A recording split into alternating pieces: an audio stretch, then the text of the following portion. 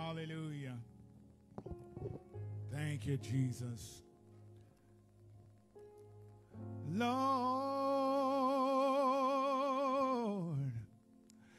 I want to say thank you.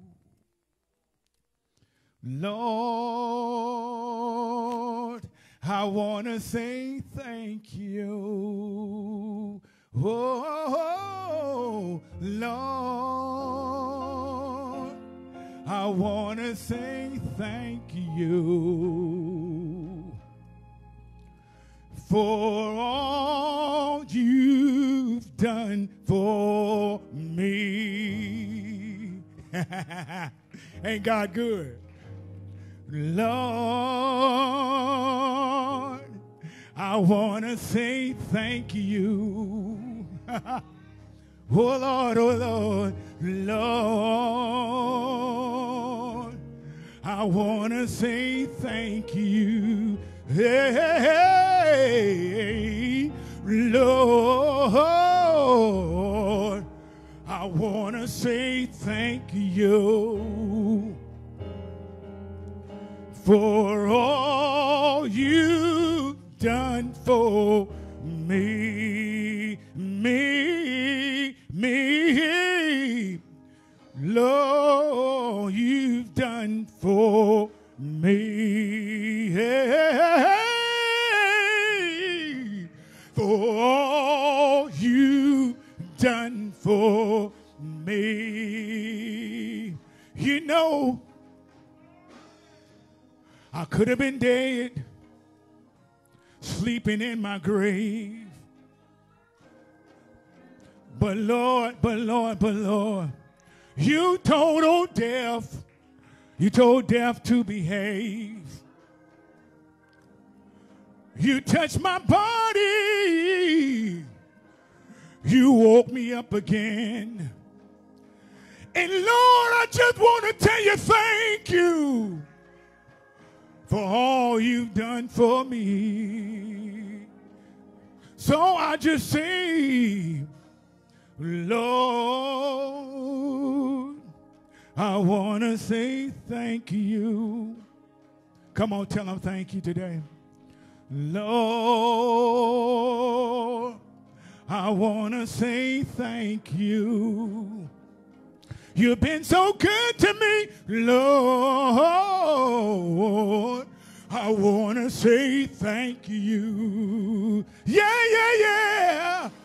For all you've done for me. For all you've done for me. Yeah. For all you've done for me. For all you've done for me, Jesus. Hey. For all you've done for me. Hallelujah. Yes, Lord. Yes, Lord. Oh. Won't you stand in your feet all over the room? Oh. Oh.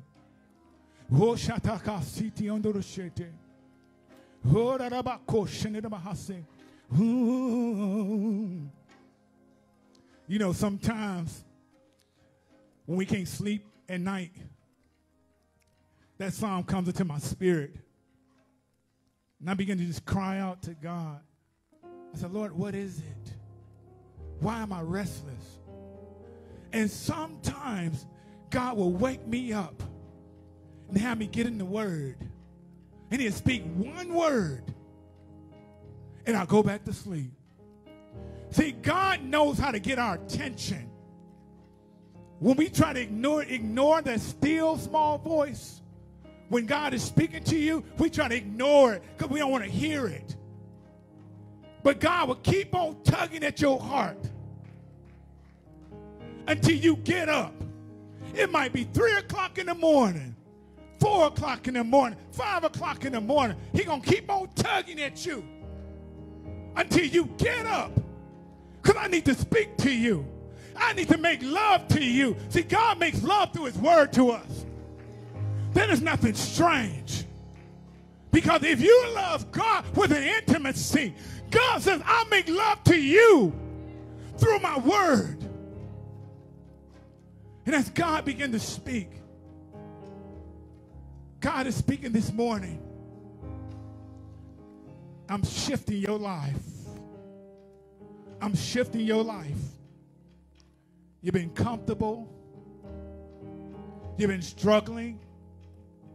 Been holding on to addictions and habits. You have secrets in your heart.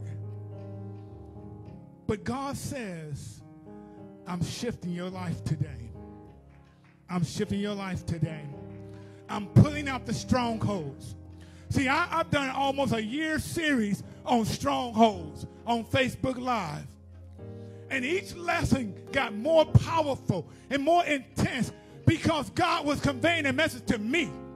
I don't know about you, anybody heard the lessons, but he spoke specifically to me about strongholds in my life. That if you're going to be a man of God and stand before my people declaring my word, you better come correct. You better come correct. God's speaking to somebody in this house today. You got to come to God correct. God says, I'm breaking the shackles of your mind. I'm breaking the strongholds of your heart.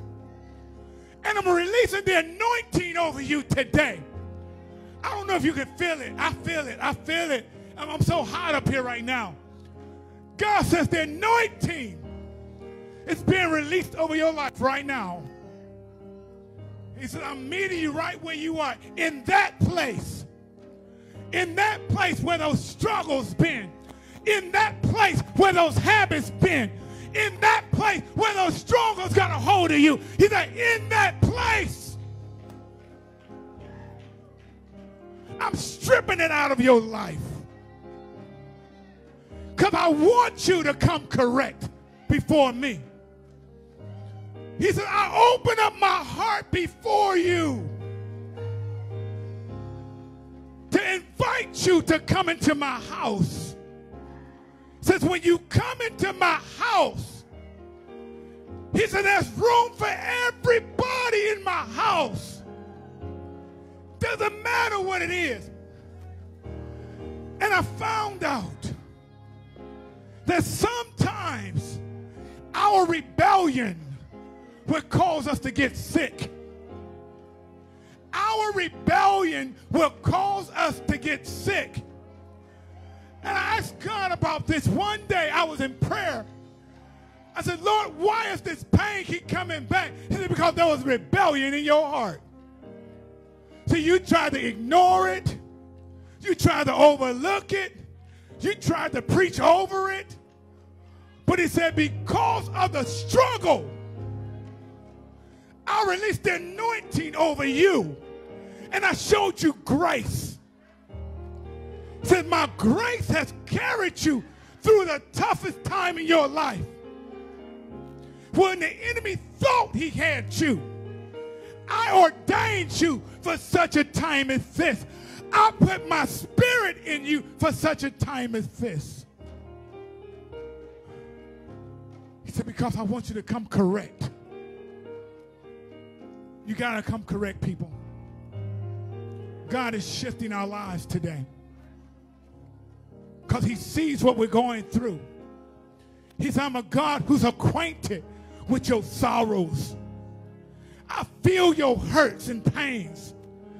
I feel your discontentment.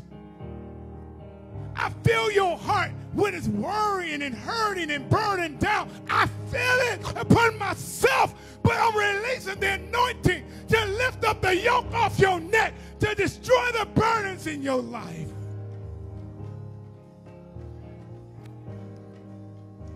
Because I love you. Because I love you. Because I love you.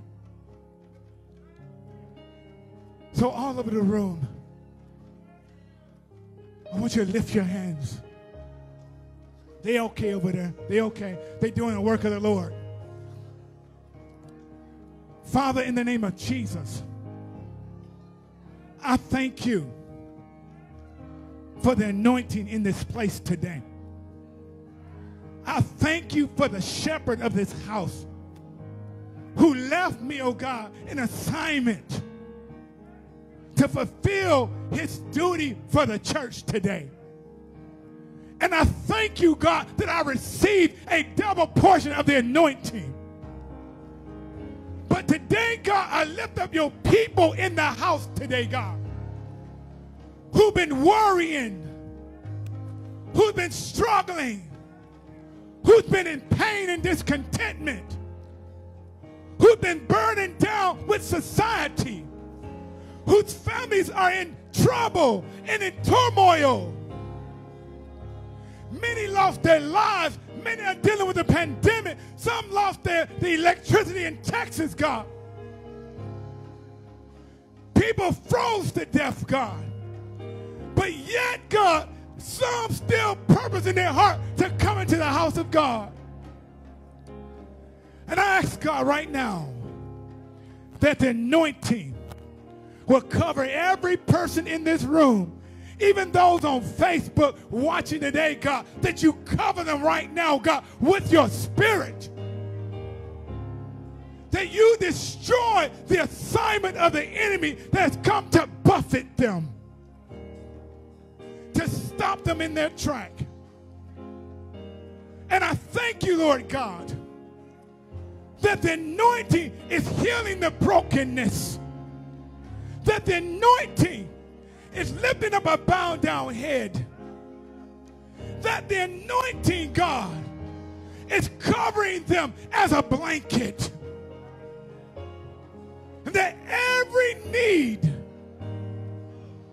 every need financially, spiritually, physically, mentally, that you would supply according to your word.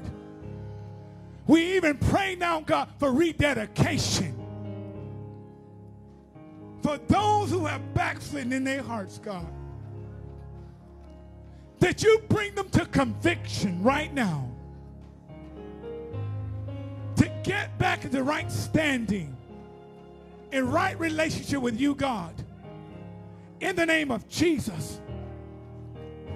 And we pray today, dear God, for souls to be saved. Those who don't know Jesus as their Lord and Savior that your spirit do the drawing today, God. That you draw them to a house somewhere to hear the gospel. Being on television, let them hear the gospel of salvation. Just like you told Zacchaeus, the tax collector, when he was in a sycamore tree looking for Jesus because he heard he was passing by. God, do not pass us by. But when you came to the place where he was, you looked up and said, Zacchaeus, make haste and come down, for the day I must abide in your house. God, you brought salvation to his whole household. And I thank you, Lord God, that whoever have ears to hear what the Spirit says to the church will receive this word today, God, that you have given me to speak to your people that will bring transformation of mind, body, soul, and spirit. That our lives will line up with your word by the power of the Holy Spirit. I bind every demonic force, every assault, every assignment every confusion. I bind it in Jesus' name and send it back to the pit of hell where it come from. And I thank you, God, that the chains are broken right now. That the burdens are lifted, yokes are destroyed because of the anointing. In Jesus' name, amen. Remain standing for the reading of the scripture. I'm going to read one scripture, but there's several scriptures we're going to go through today. Thank you, Jesus. Oh,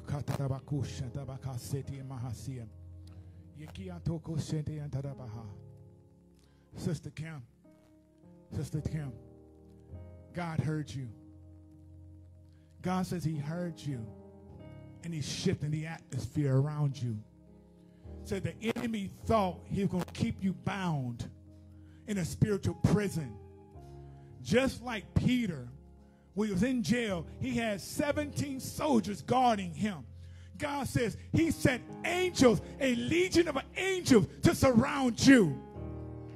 That every time the enemy would try to come in against you to take you backwards, God says, don't be hindered by your past anymore. But as I have brought you out, God says you move forward by faith in the purpose God brought you out for ministry upon your life. You have a calling on your life. The reason why the enemy attacks you so hard, God says he called you to be an evangelist. And the enemy has been attacking that call upon your life to blind you from the truth. But God says he's stirring a hunger in your heart for the word of God. That your eyes will be open to be flooded with the light, to know the hope and the measure of God's grace that's upon the calling on you. And God says, You're going to walk as a free woman from this day forward and not go back to the chains anymore.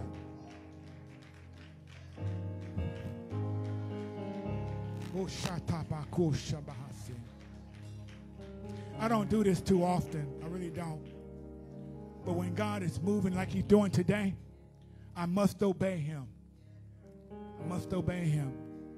Oh, Hallelujah. Glory to God. Sister T, God says he's healing you. He's healing you. So don't let your mind think he's not healing you. So a lot of times your illnesses is because of the way you think. But God says, I'm shifting your thinking today by the power of the anointing. He says he's releasing a fire upon you, and that fire is an all-consuming fire. God says, I am that fire that's going to burn inside of you, and I'm going to draw out the sickness and the disease, and cancer shall not return. Because God says, I healed you with my anointing fire.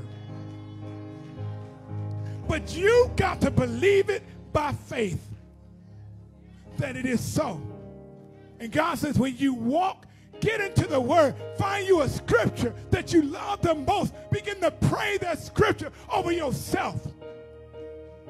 God says, when you open your mouth, He said, the scripture that you love the most is going to begin to talk to you. The scripture you love the most is going to fill your heart with such a joy and excitement. And he says, every time the enemy try to put doubt in your mind,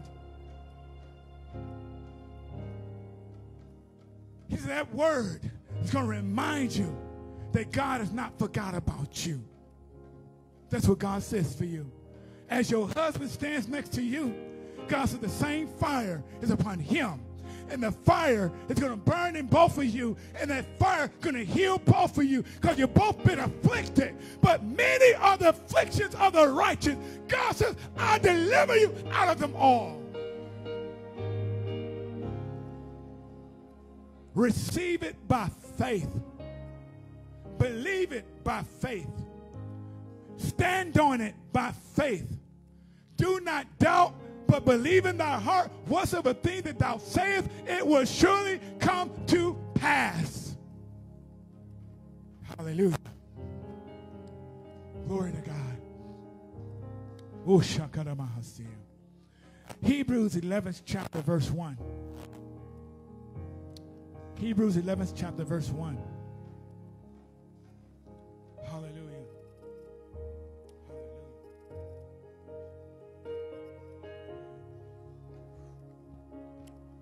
It says, now faith is the substance of things hoped with an ED. It means something you thought about a while ago, that you hoped for a while ago.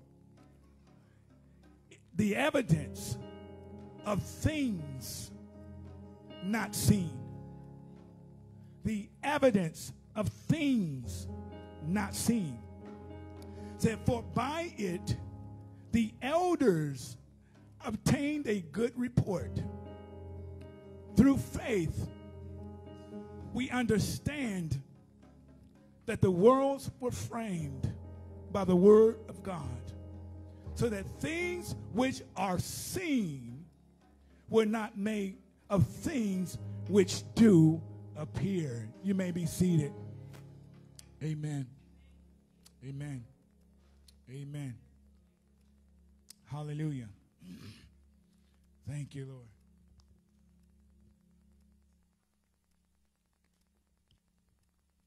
Hallelujah. Then in Genesis, Genesis chapter 1. Hallelujah. Genesis chapter 1. Genesis chapter 1, verse 1 says, In the beginning, God created the heaven and the earth. And the earth was without form and void, and darkness was upon the face of the deep.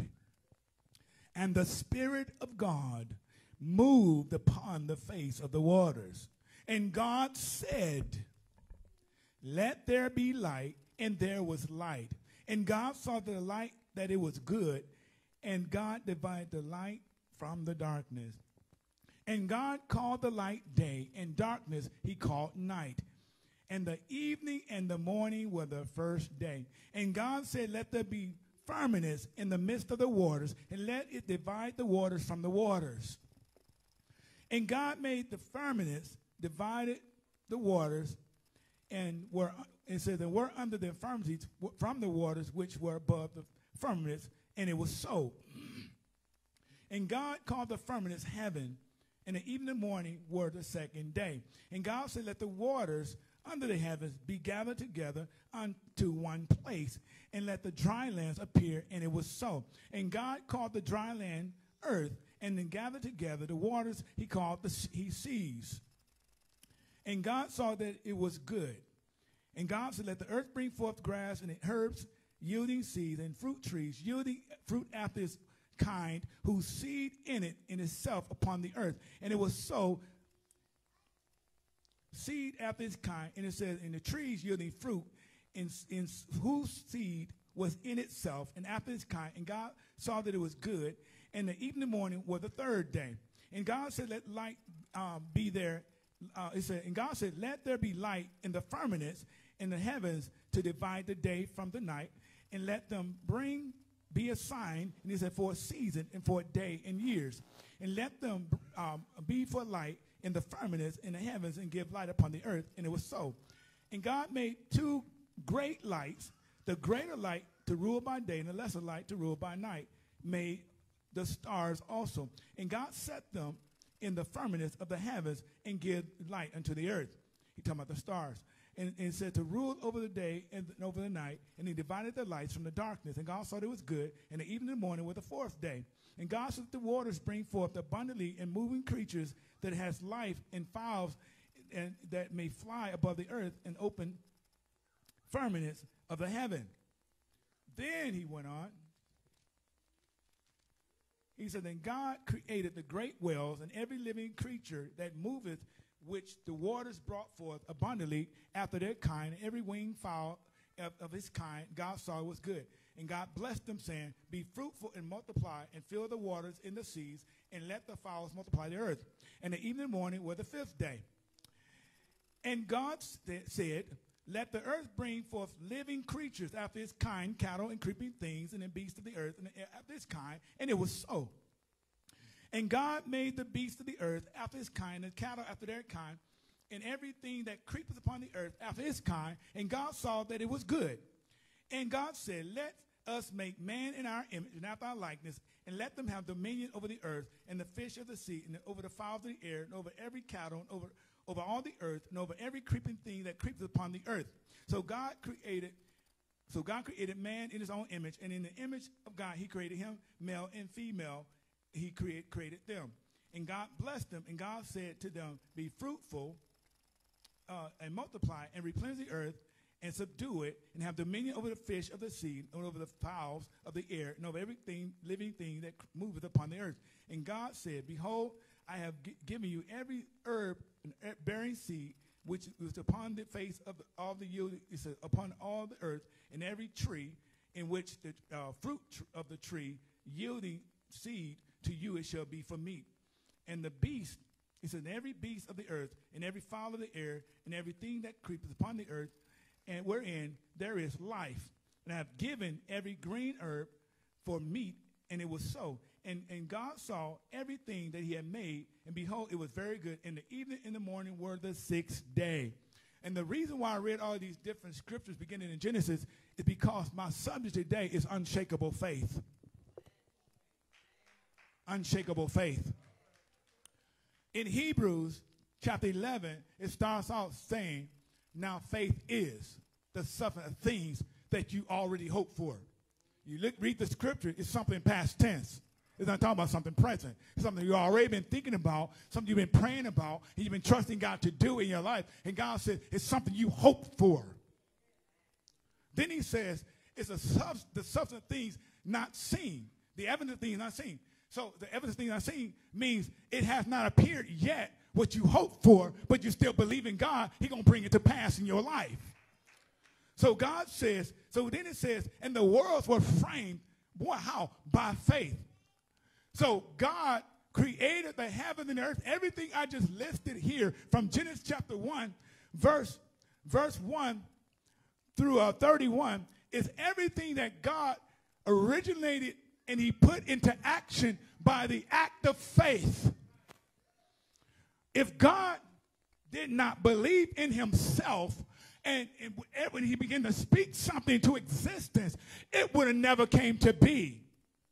So when God says he's going to put the earth, he's going to put the water, he's going to put the creatures, he's going to put man and woman. And, and, and when he talks about creating male and female, he hadn't even created, created the woman yet.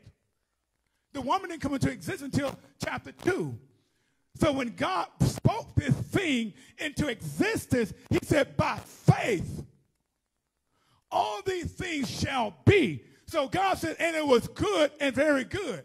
So God said, in six days, I created everything that you see in life today. He said, because I am a self-existing God, I'm Jehovah Shammah. My presence is everywhere at the same time. I can speak a word in your life and change your destiny. Glory to God in the highest. But the problem comes in. In order to have unshakable faith, you got to know what faith really is.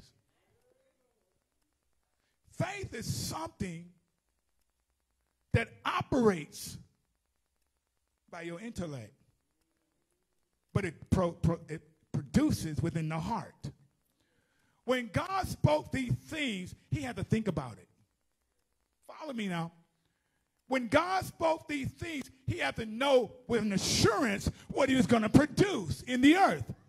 So when God said, now faith is the substance, he talking about having a strong, unshakable belief in that God's ability to do what you've been praying for. Some people have been praying 20 years for God to deliver them in certain areas in their life, and it never happens because you have shakable faith. When God gives us a word to stir us up, to change our thinking, there's apprehension. There's resistance. There's rebellion. There's stubbornness. There's idolatry. There's witchcraft. There's the spirit of the Antichrist. And the God said in his word, and he spoke to Timothy, Paul spoke to Timothy, Timothy, he said, man, he said, you know what? There are many antichrists in the world said many of them in the world. He said the Antichrist was coming, but he's already here. He said, and there are many followers that follow after his teaching. So you don't know the word for yourself. An antichrist can come along and tell you something that sounds like God, but it, it defiles God's word and it leads you astray. It leads you from your conviction of your salvation and dependent on God. So God says, that we got to know without a shadow of a doubt that my belief is stern, is rooted, is grounded in the Lord. So if anyone come preaching any other gospel, Jesus said, they're not of me. Said, those who follow me will keep my commandments. Not only keep my commandments, but they're going to love one another as I have loved them. And the problem comes in, we don't love one another because we don't love ourselves. I'm not going to be long. I'm not going to be long. I'm just doing what God told me to do. Second Corinthians 5 and 7 says, We walk by faith. We walk by faith, not by sight. A lot of folk in the house of God been going out of tradition to church. Your traditions, Jesus had a problem with folk in their tradition.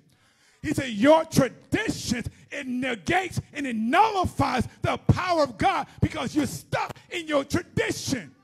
And the God is trying to shake us up today to break your cycle of tradition. I have a tradition of going to church because my mama went to church. I got a tradition of going to church because my daddy went to church. I got a tradition of going to church because my grandparents went to church. And so I don't go for myself. I go because they went to church. Tradition. Your religious belief will stop you from walking in truth and righteousness. God don't want you to be religious.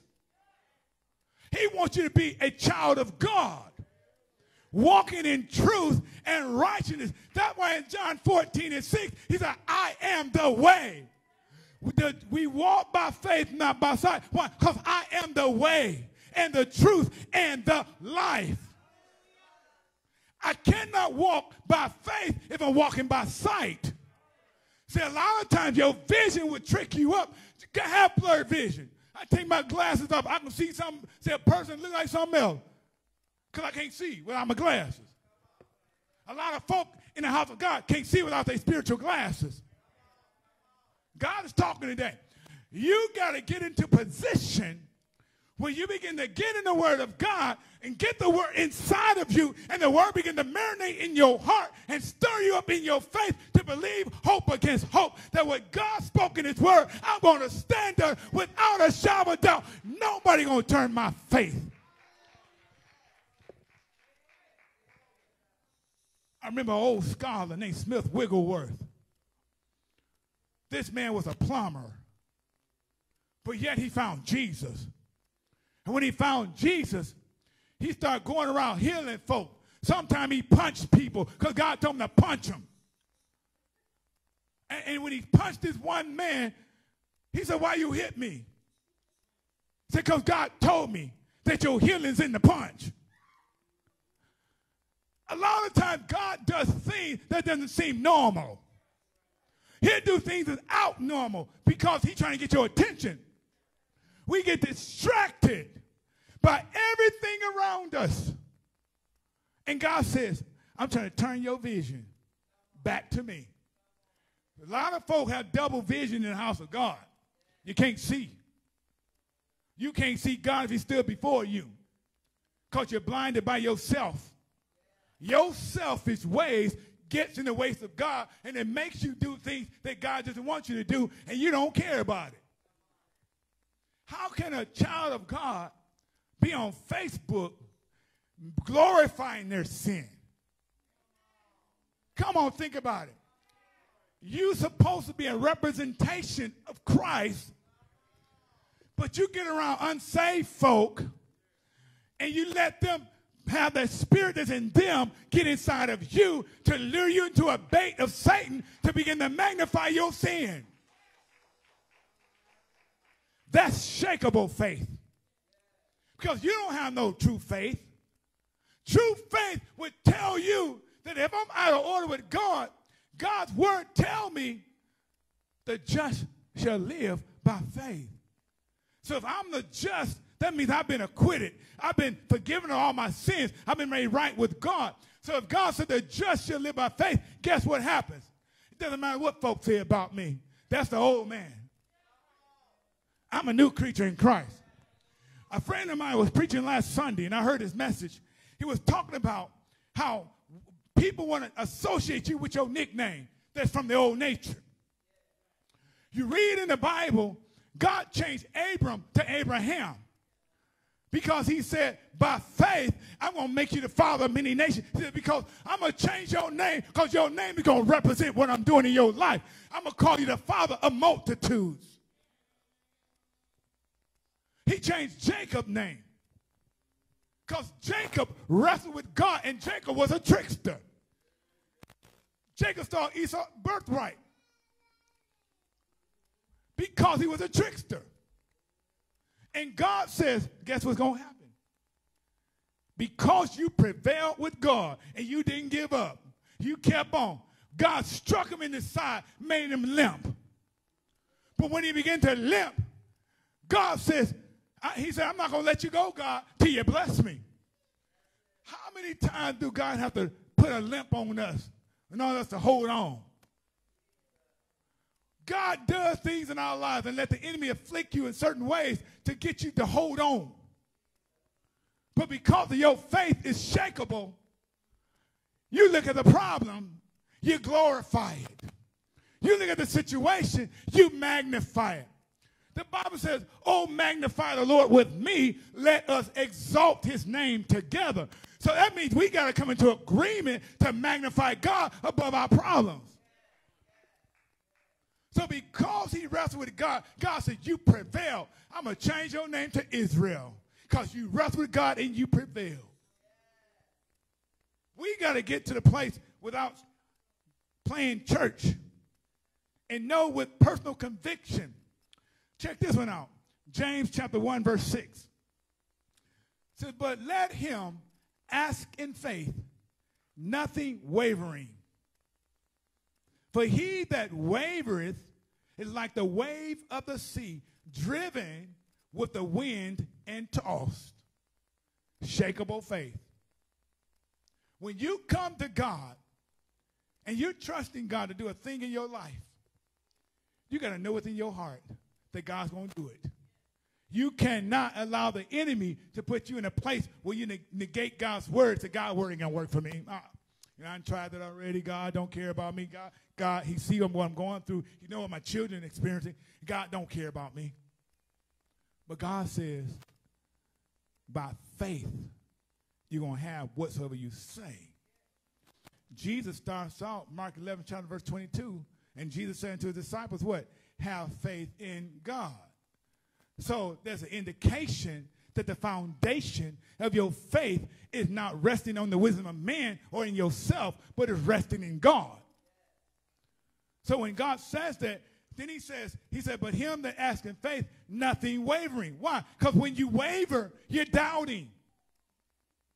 When you're wavering, you're not sure of what you're asking God for.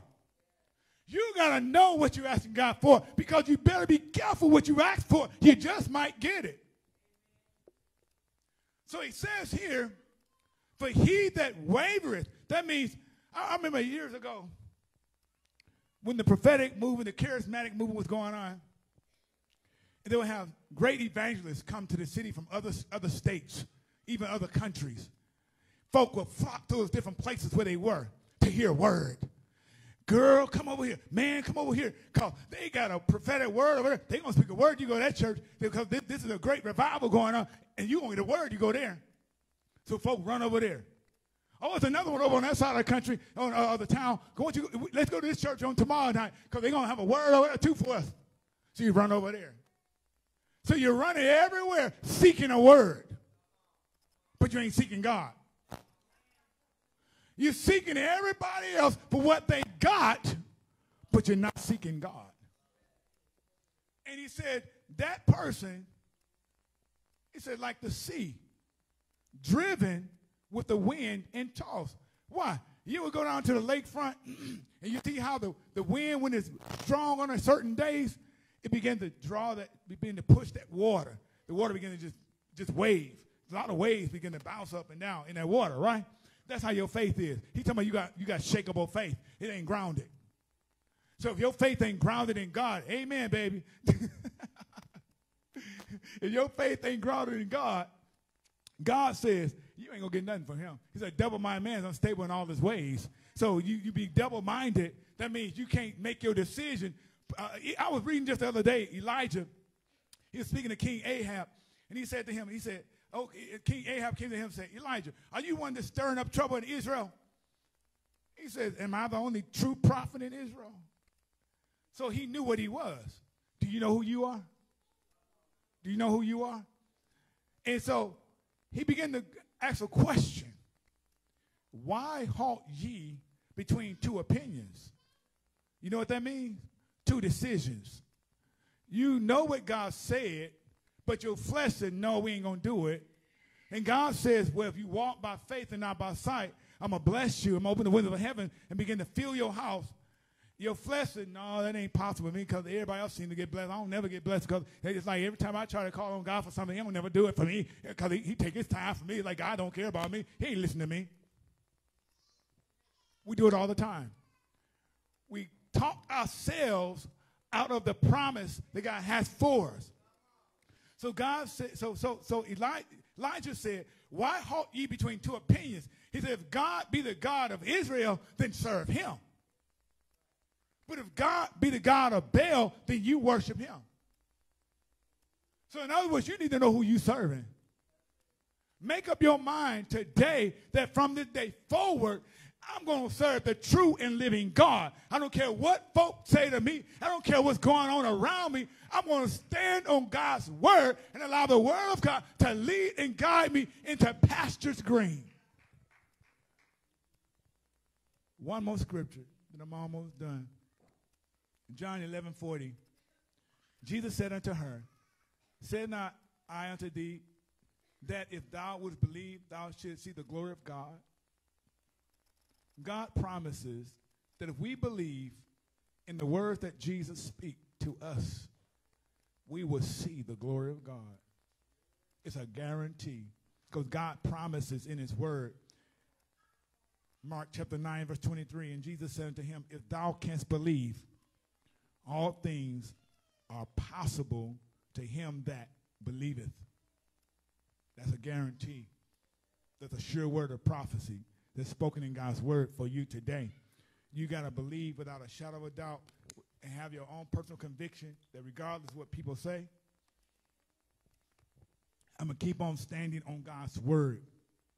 And then James 1 and 3 says, knowing this, that the trying of your faith worketh, is working to produce, to manufacture patience. You need patience today. The trying of your faith is manufacturing patience in you, according to the word of God. But you got to know within yourself that when trouble comes, don't get a bad attitude because things are not happening the way you want it to happen.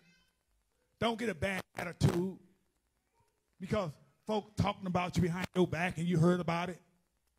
Don't get a bad attitude because things ain't going the way you want it to go.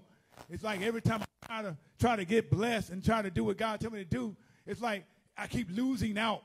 God says every promise for his people is yes and amen. Yes and amen. Want you standing with me?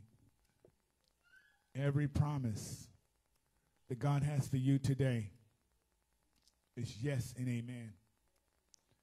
You must have in your daily walk a stern personal conviction that regardless of what happens around you on the inside, I'm going to have an unshakable faith. I'm going to stand on the promises, the prophetic word that God spoke to me. I'm going to keep on trusting God with all my heart, my soul, my mind, my strength. I'm going to love with every fiber of my being. And God promises that everything he has spoken to you, it will come to pass in your life in this season. But you got to believe it. You got to trust God at his word. You got to thank God at his word for what he spoke to you and believe God at his word that it's going to happen to me. I'm a millionaire. You tell yourself, I'm a millionaire. You have a millionaire mentality. Because God changed your thinking to begin to see millionaire mentality. So whatever it is you're trusting God to do today, it might be healing. It might be comfort through the loss of a loved one. It might be pain in your body. God says today is the day of salvation. Salvation is an all inclusive word that includes everything you're going through because he is the Savior of the world. And because he's the Savior, he said, while you yet crying out, I have heard you. That business that seems to be struggling, the business that you're looking to start. It doesn't matter what it is. Get your mind on that one particular thing that God spoke to you to do. And we're going to pray and we're going to dismiss. But I want you to get your mind on that one particular thing that you're trusting and believing God to do in your that you've been hoping for for a very long time. And I want you to believe in your heart and do not doubt that what you're asking God for that he would do it. Somebody need an increase, financial increase. God says he's going to do it. Somebody needs healing. God says he's going to do it. Somebody needs deliverance. God says he's going to do it. No matter what it is, says I'm going to do it. So, Father, in the name of Jesus, Lord, I thank you for this word today, oh God. I thank you, Lord God, for your presence, reminding us that he who dwells in the secret place of the Most High shall abide under the shadow of the Almighty. Even in your shadow is benefits. And God, I thank you today that we're resting in your presence right now, God, those particular things that your people are believing you for, God, I come in faith, decreeing and declaring it shall happen in this season. I come against the spirit of apprehension, the spirit of doubt, fear, and unbelief. I break the shackles of failure. I break the chains of bondage over our minds. That we would have a clear conscience, free of sin, to believe that hope against hope, that what you promise, that you're able to perform it. And I thank you, Lord God, that somebody is being healed right now, God. Healed in their faith, oh God. Healed in their mentality. Healed in their bodies. Healed in their hearts. They're being healed in their conversation right now, God, because the anointing is flowing in the atmosphere. And I thank you, Lord God, that your word that goeth forth from your mouth will not come back empty, but it will prosper whereunto you sent it. It shall do that which you please because you're God all by yourself. And I thank you in Jesus' name. Amen. I want to open the door to the church. You don't have a church home at this time before we go. If anyone need to give their life to the Lord, salvation, you need salvation. You don't know Jesus, your Lord and Savior. At this time, I extend the invitation to you. Don't leave this place without getting to know Jesus. Because it's not guaranteed when you leave this place, you're going to live. But God has an assurance that if something did happen to you, to be absent in the body is to be present with the Lord. We find that there is none. So, Lord, we thank you for your presence, oh God, for the word that going forth today, oh God, that will not return to you void. But I thank you, Lord God, that the word will begin to penetrate in our hearts and our minds, oh God, to remind us over and over to have unshakable faith. Now may the grace of God, the sweet communion of the Holy Spirit, rest, rule, and abide in us from this day forward. In Jesus' name, amen. You dismiss.